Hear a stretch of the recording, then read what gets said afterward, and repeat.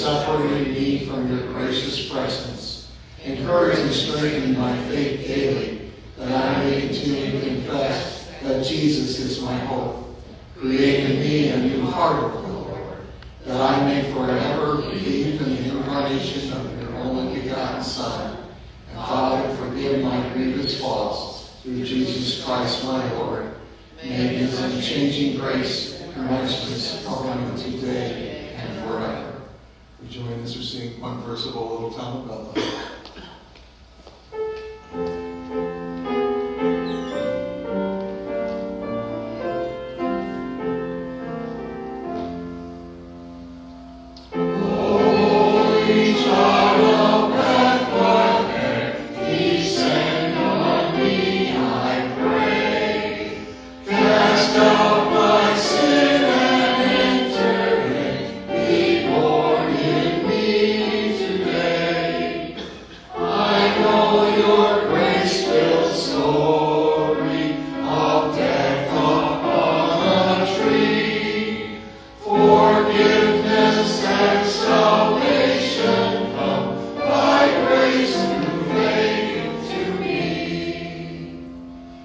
of what Christ has done for us through his incarnation, his death, and resurrection, we can dare to look to the Heavenly Father for hope and grace, compassion, and forgiveness. Christ, Christ's only begotten Son bears the punishment we deserve and transforms our lives with his forgiveness. And therefore receive God's declaration of pure grace. And as a called and ordained servant of Christ and by his authority, I forgive you all your sins in the name of the Father, and of the Son, and of the Holy Spirit. Amen. We are forgiven. Heavenly Father fills us with hope, joy, and peace through Christ. Come, the Lord Jesus. And we sing.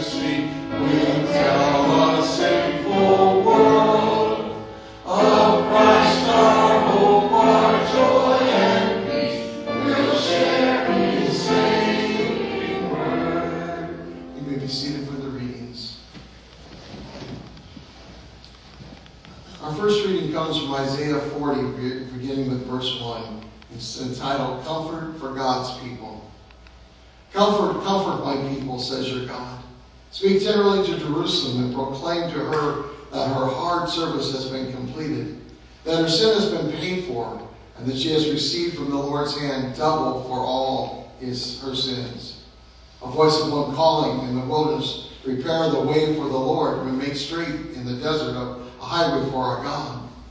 And every valley should be raised up, and every mountain and hill made low. The rough ground should become level, and the rugged places a plain. And the glory of the Lord will be revealed, and all people will see it together, for the mouth of the Lord has spoken. A voice says, Cry out. And I say, What shall I cry? All peoples are like grass, and all their faithless, faithfulness is like the flowers of the field. The grass withers and the flowers fall, but because the breath of the Lord blows on them. And surely the people are grass, and the grass withers and the flowers fall, but the word of God endures forever.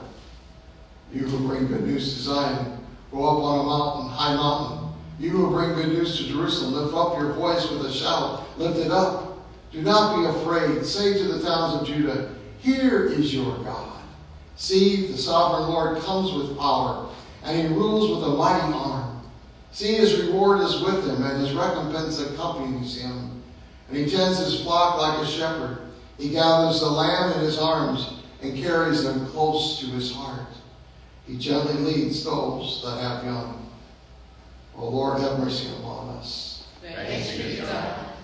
Tonight we focus on the word of hope, and we'll be re- doing responsive lessons of hope. And uh, I invite you to join in where it says uh, people.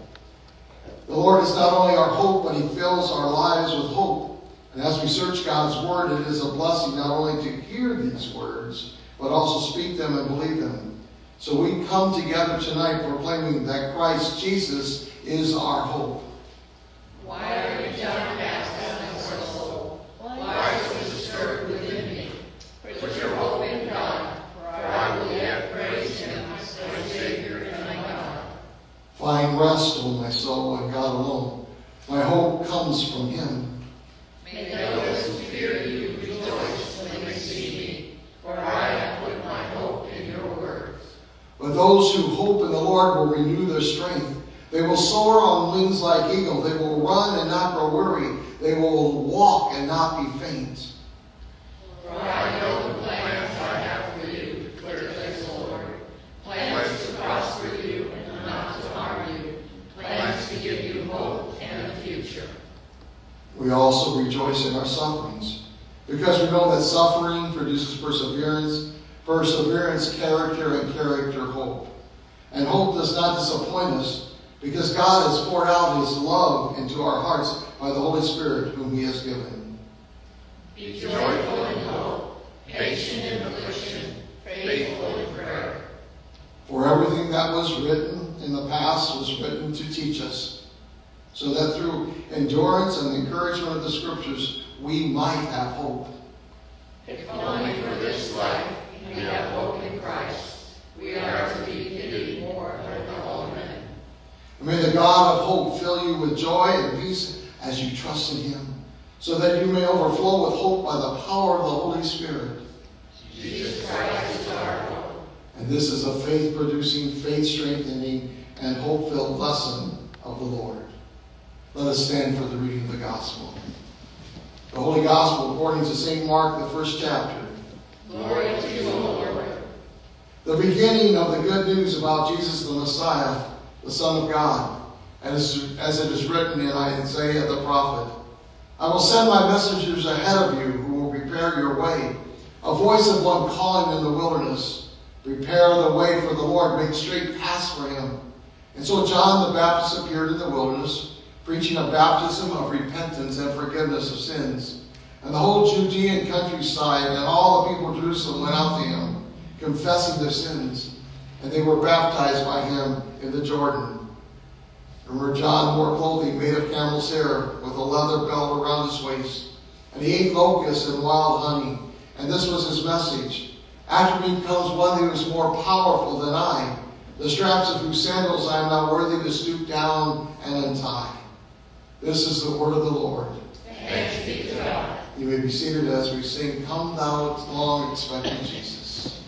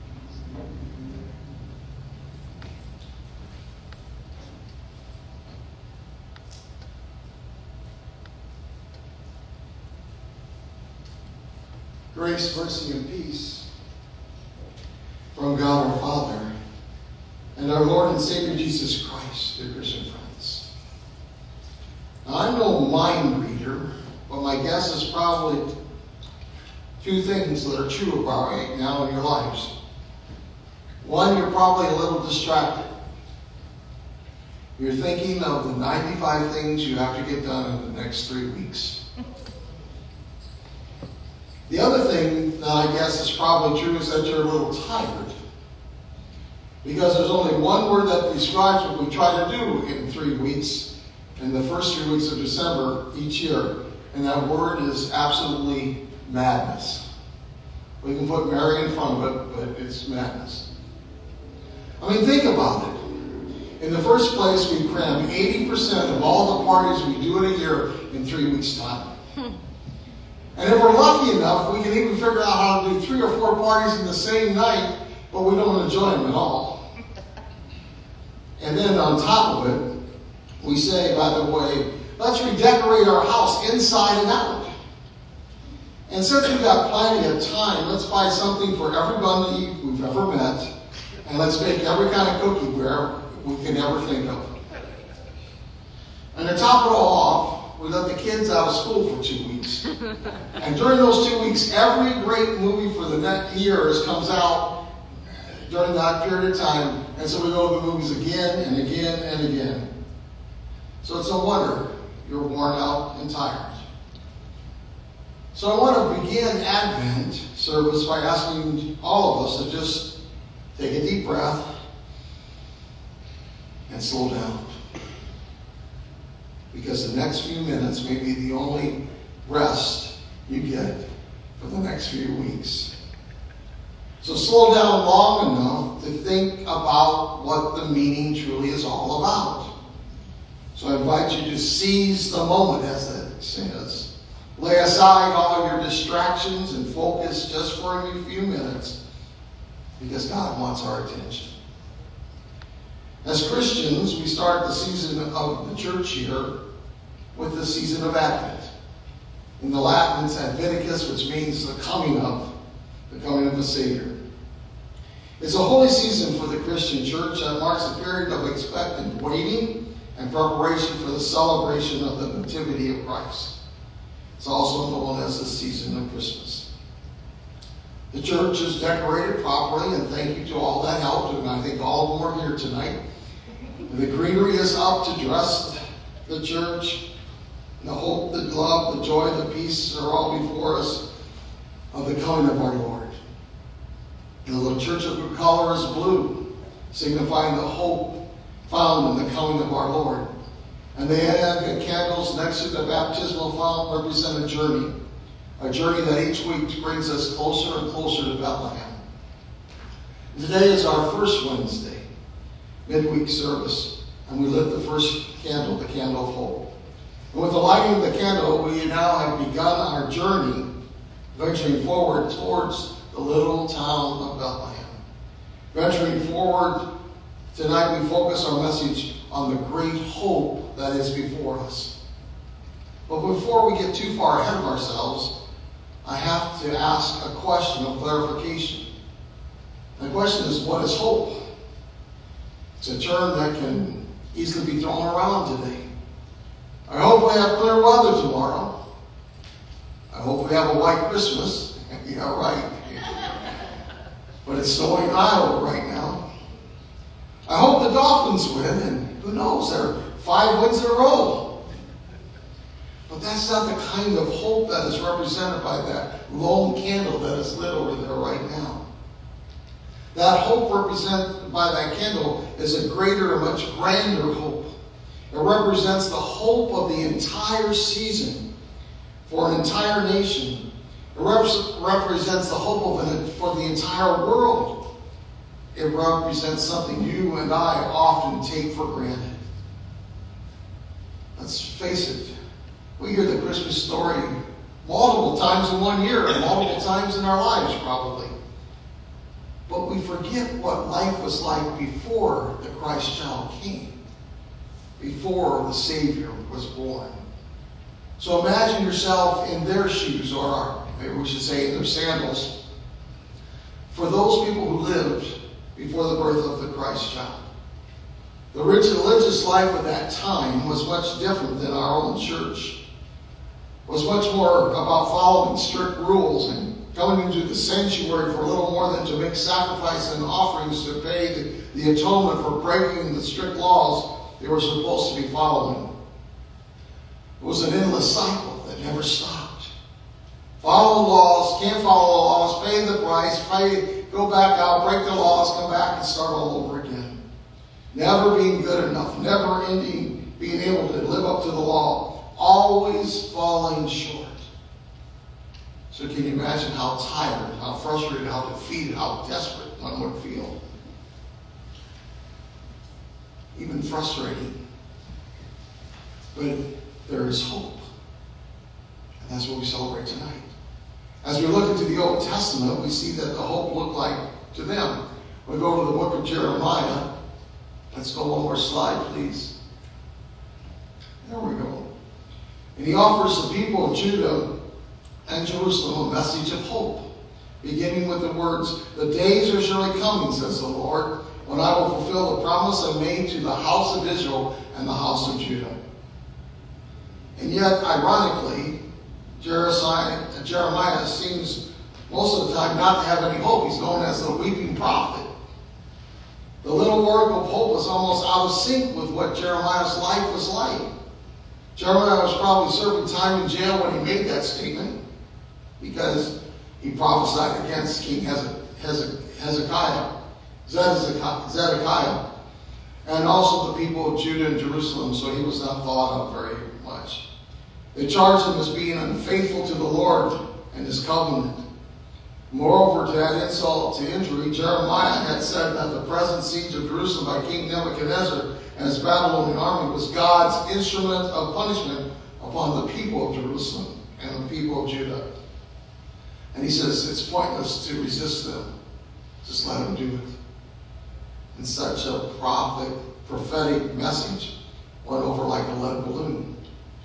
So no wonder Jeremiah was in jail. And yet, Jeremiah remains faithful to God and proclaims the oracle of hope in spite of this immediate situation of hopelessness. The days are surely coming, Jeremiah when the Messiah King will come to rule with justice and righteousness. They would not have to make atonement forever and ever. And soon there would come the Lord who would never laugh. And to summarize, the prophet Jeremiah says, The throne will never be empty, and the debt will forever be paid upon the coming of our Lord.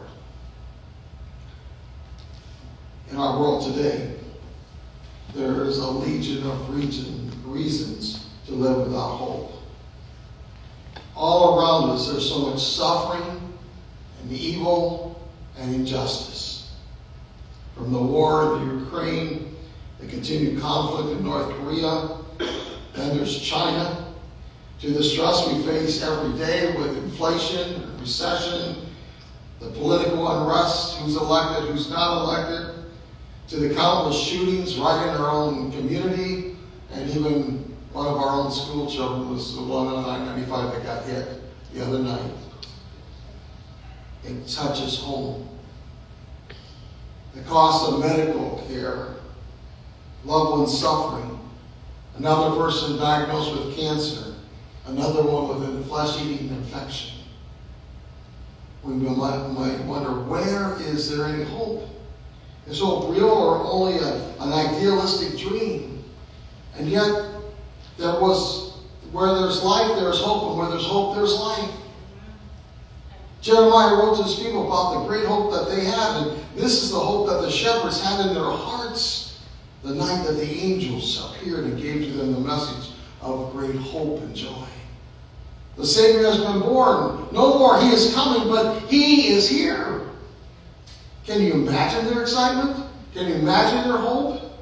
The anticipation, the eagerness to, to run as fast as they could to Bethlehem to see the Lord? The shepherds were overflowing with hope and joy because of what it meant for them and because of what it means to all of us even today. It's like this. Years ago, there was a wealthy man who with his devoted young son started a passion of collecting art. Together they traveled the world, adding the, only the finest art treasures to their collection. Priceless works of Picasso and Van Gogh and Monet. Many others, they adorned the walls of the family estate. The widowed father, though, looked on with satisfaction as his only son became an expert in art collecting. But the day came when there was a war that broke out in their country. And the son said, Dad, I must go fight the war. And off he went. And only a few weeks later, the dad received a telegram that said that his beloved son had been killed while carrying a fellow soldier to the medic. On Christmas morning, all alone and depressed, there was a knock at the door. The old man opened the door and he was greeted by a soldier with a large package under his arm. He introduced him by saying, I was a friend of your son. In fact, your son was carrying me when he was killed. May I come in because I have something for you? He said, I'm somewhat of an artist, said the soldier, and I want to give you this. As the man unwrapped the package, there he found a portrait of his son. While it was no great piece of artwork, it did feature the young man's face in striking detail and seemed to capture his personality. But the following spring, the man became ill and he died. And the art world was in great anticipation. What's going to happen with this amazing collection? And according to the will of the old man, all the artwork was to be auctioned off. So the day arrived. And art collectors from all around the world came to try to buy some of these paintings, these world most spectacular paintings. But the auction began with a painting that was not on the museum's list. It was a painting of the man's son. The auctioneer asked for an opening bid, and the room was silent. Who will give me a hundred dollars for this painting? Minutes passed without a sound. And then they started heckling. We didn't come to buy the son's painting. We came to buy the other paintings. Let's get on with the auction. And the other voices said the same. But the auctioneer said, no, we have to sell this one first. Now, who will take the son?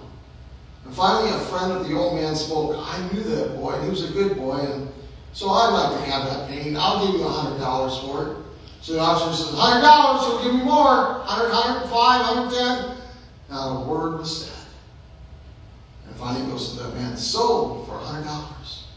And everybody started cheering. Now we can get on with the paintings. Now we can get on with the auction. And the auctioneer says, no, the auction is over. Stunned in disbelief, they said, what do you mean? We came for the, we didn't come for the picture of the old, of the old man's son. And the auctioneers replied, it's very simple. According to the will of the Father, whoever takes the Son gets it all. That's how it is for all of us. The message is a summary of what Christmas is really about. But we cannot enjoy the joy of Christmas without the pain of the cross. All of the hope of the coming Messiah hinges on the true purpose for the coming of the Messiah. And that purpose was freedom from sin and freedom from death. So as we begin our journey to Bethlehem, let us remember this hope as ones who do not take the gift for granted. Let us remember what it was like before Jesus came, when all were slaves to sin and death. And let's look to the baby born in the manger.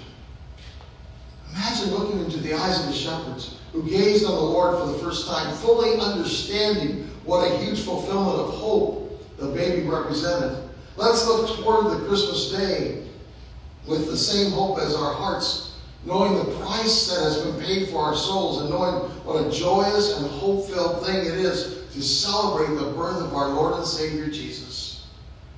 Let us know the true meaning of the angel's words when she declared, Behold, I bring you good news of great joy, which comes to all the people.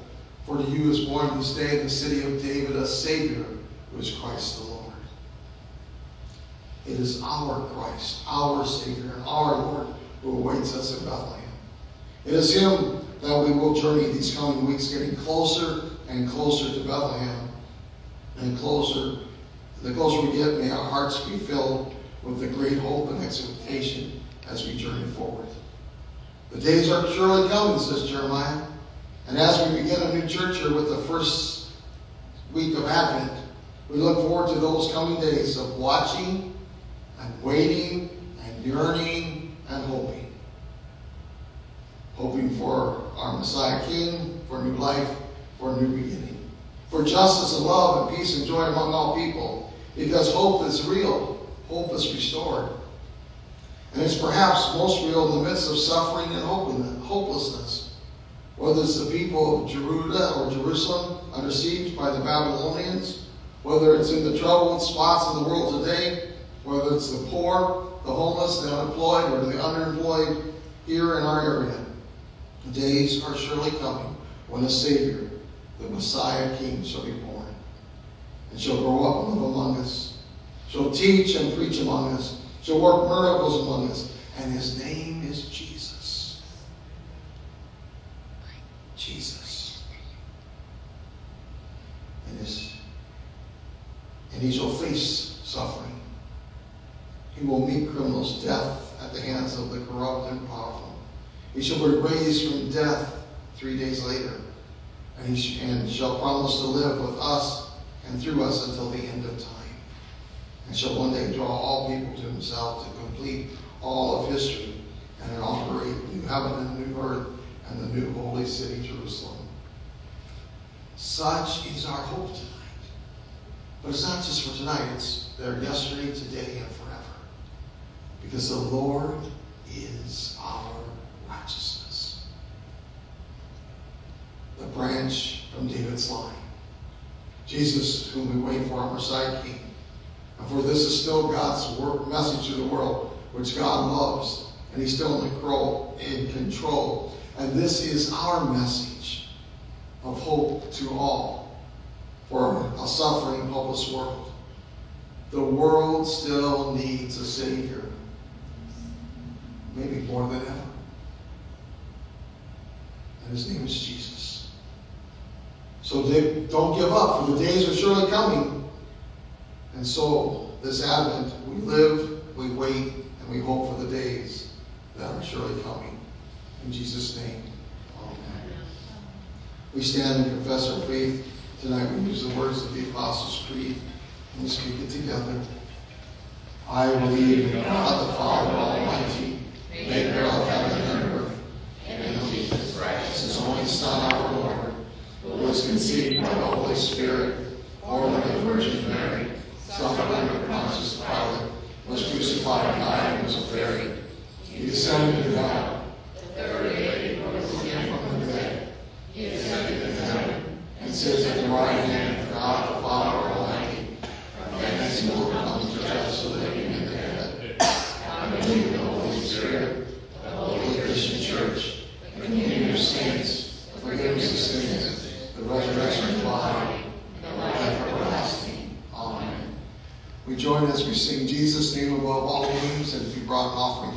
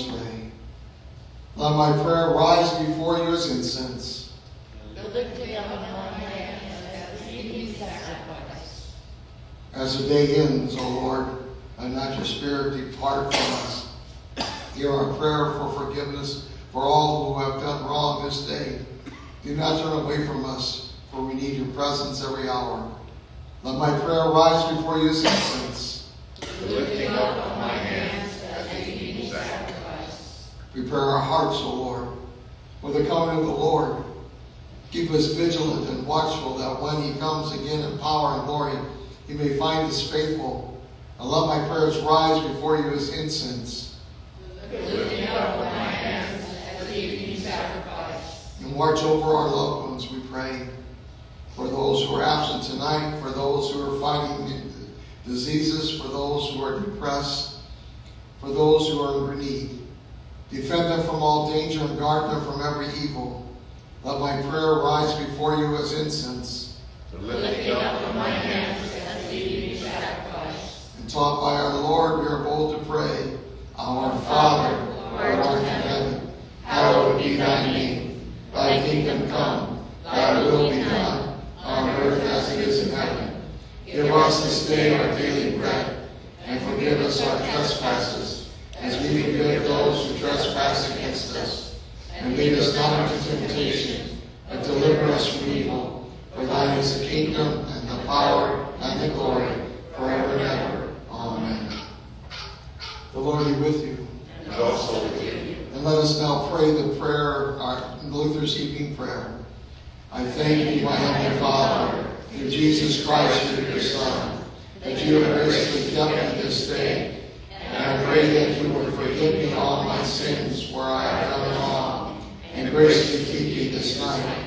For into your hands I commend myself, my body and soul and all things. Let your holy angel be with me, that the evil one have no power over me. Amen. It is great to see you all here tonight and pray that you'll be back again next week as we look at the second candle, the candle of peace. Uh, remind you that on Saturday at 1 p.m. in the afternoon, we will be celebrating the life of Dorothy Kruger, uh, Mrs. Kruger, who passed away in October the 29th. But we do the celebration of life this Sunday, this Saturday at 1. And so if you'd be a part, we would welcome you to be a part of that celebration. And now receive the benediction. May the Lord bless you and keep you. May the Lord make his face shine upon you, be gracious to you. May the Lord look upon you with his favor and give you peace. Amen. And we close with our last song, and Away in the Manger.